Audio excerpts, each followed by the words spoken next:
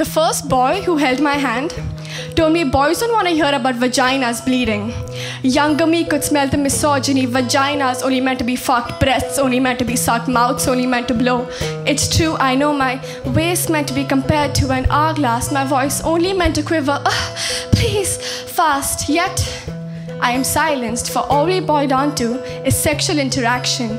Not just me, my mother, sisters, friends all quicken the pace post 8.30 in the evening. My mom telling me to wear skirts out less often, Nirbhaya and more left forgotten. We don't want to be another of India's daughters, do we?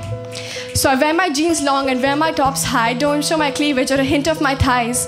Don't want to be mistaken for wanting it. Because if I wear less, I'm more than just flaunting it, I'm risking it.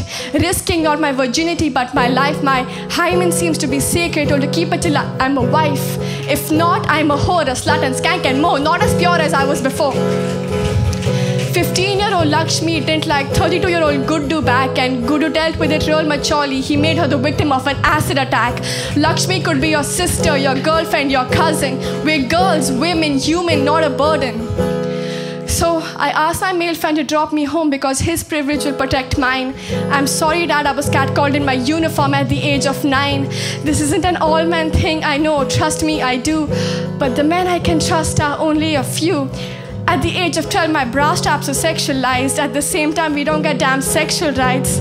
My aunt raped by a husband, but marital rape is fine. Pucker up, it's a mad design. Get in line.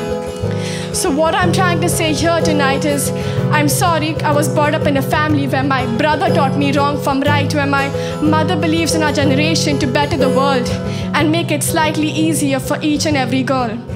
Thank you.